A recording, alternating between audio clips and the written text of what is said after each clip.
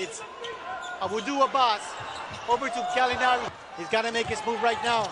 And there's a fadeaway. And then the shot connect.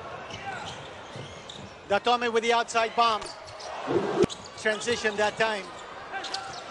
And Japeth Aguilar. Blatche is not even going down court for the defense. On the outside.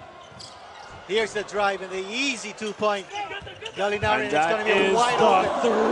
Trying to go pick and roll with Aguilar. And again, getting in the lane much better from Robert Bolick. Basically said to June Mar Fajardo, not in my house. And look at that, Chris passing, trying to break loose. Here we go. CJ Perez, he. Here's a wide open shot.